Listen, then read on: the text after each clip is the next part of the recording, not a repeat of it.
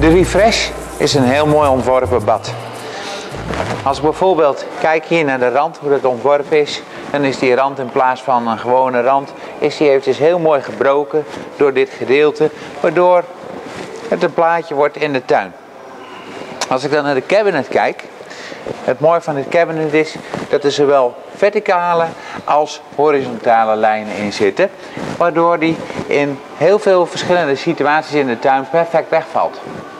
Maar het allerbelangrijkste in een bad qua ontwerp is natuurlijk hoe is je ontworpen, hoe is hij geshaped, eh, zodat ik lekker zit, maar daarnaast ook lekker diep zit. Want het waterniveau is hier, dus het is ook altijd erg belangrijk.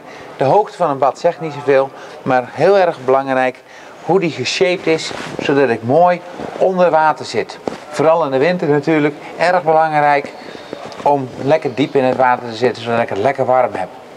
Dan is het ook heel erg interessant, deze refresh is 2 meter bij 2 meter. Dat is een hele compacte vorm voor een 5 persoon spa.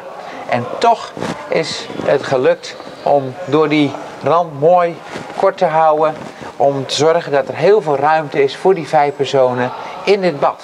Dus een hele mooie ruime voetwel zit erin. Zowel een mooie diepe lichtzetel in, twee diepe andere zetels. En er zijn er nog twee plekken waar ik eventjes iets hoger zit.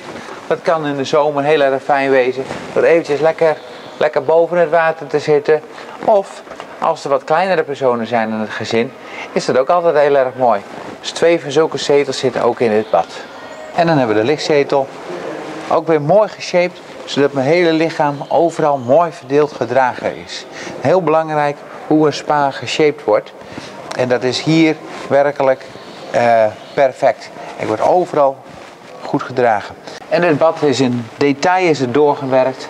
Maar we zien ook dat die jets heel mooi uh, weggewerkt zijn. Zodat als ik hierop lig, het perfect ligt.